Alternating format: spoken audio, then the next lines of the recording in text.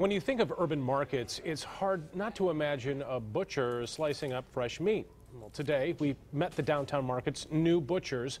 It's a Lakeshore family moving to the Wealthy in 131 location. New at 6 o'clock, we're detailing how much more their meat costs and why they say it's worth it. And 24 Hour News 8's Ryan Takeo joins us live in studio to break this one down. Montello's executive butcher figures their meat prices are about one third more than what you'll see at the grocery store.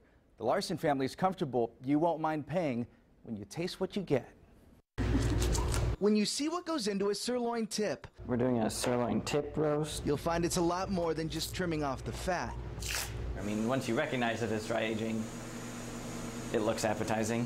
For Sam Larson, Montello Meat Market's executive butcher, it's a waiting game too. Everything at Montello's is dry aged for at least three weeks. The Larsons maintain you can taste the difference. even our burger, the ground beef is even more flavorful than you can possibly imagine. if you can swallow the cost. We randomly looked at three pieces of meat and went to this Family Fare down the street from Montello's. We found the price of most everything almost double, from brats to the porterhouse. Same with the sirloin tip, what we found Sam Larson slicing up.